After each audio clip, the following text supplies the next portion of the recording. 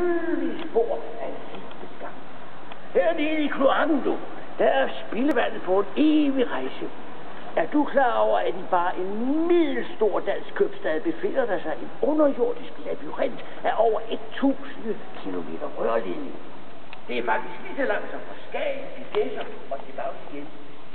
Og på denne